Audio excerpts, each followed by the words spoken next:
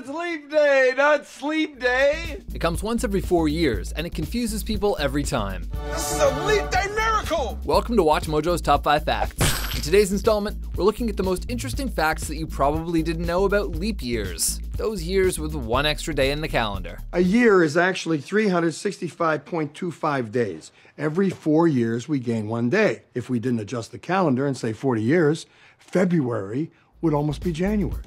Number 5. Leap year was introduced in 45 BC by Julius Caesar.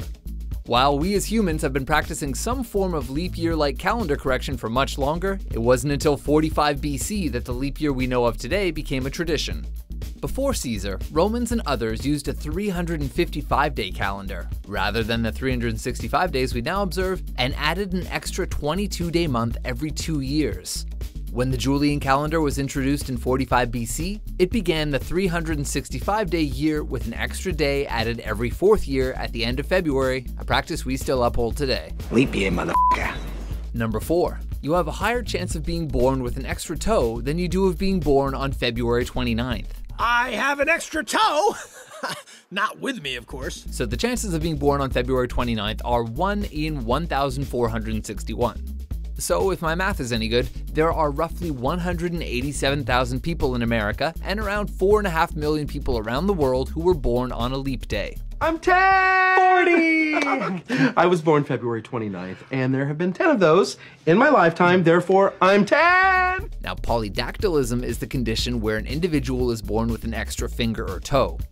The chances of being born this way are around 1 in 500, meaning that you have a much better chance of being born with an extra finger than you do of being born on a leap day. I wish I had an extra finger, then I can grab my cheese ball. If anyone could work out the odds of being born with an extra digit on February 29th, you're better at math than I am. All right, I'll do the math, but I'm not going to meet with any therapist. Number 3. There are many folklore traditions regarding marriage and leap days. And we're not even referring to Leap Day William. Did you not grow up with Leap Day William? He lives in the Mariana Trench. He emerges every four years to trade children's tears for candy. While a leap year may mean just another day for North Americans, leap days carry much more power around the world. In Greece, getting married during a leap year is said to be bad luck, and one in five couples will deliberately avoid planning their wedding for a leap year. In Finland, Scotland, and Ireland, it is tradition for a woman to propose on a leap day, and if the man refuses, he has to give something in return. In Denmark, for instance, it was customary to give 12 pairs of gloves. Critics have argued both for and against the tradition, with some arguing that it is outdated and maintains oppressive restrictive gender roles, while others see it as empowering for women.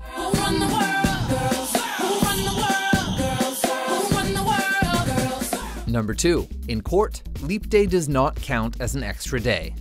But leap year is just that, isn't it? It's an extra day. Nevertheless, if you are sentenced to one year in prison during a leap year, you're going to the slammer for 366 days. That's not fair. In 2001, an American woman tried to receive her dead ex husband's social security benefits, which she could have had if they'd been married for at least 10 years. However, they divorced three days shy of their 10th anniversary. But she argued that the leap days accumulated and pushed their relationship over 10 years. The court disagreed.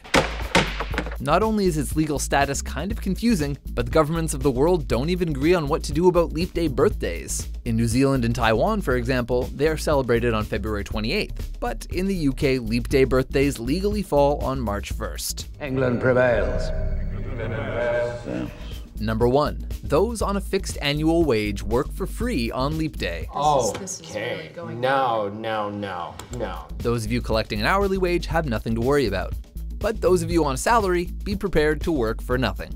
Because salaries pay by the year, 365 days are covered. Employers generally pay the same amount each year, regardless of whether or not there's an extra day added.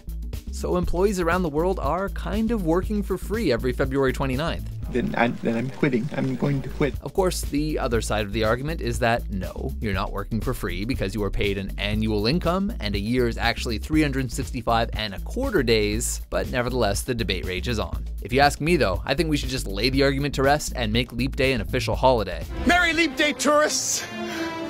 Merry Leap Day, closeted gay guys meeting in the city. So what do you think? Should we just go ahead and make leap day a holiday? I love leap day!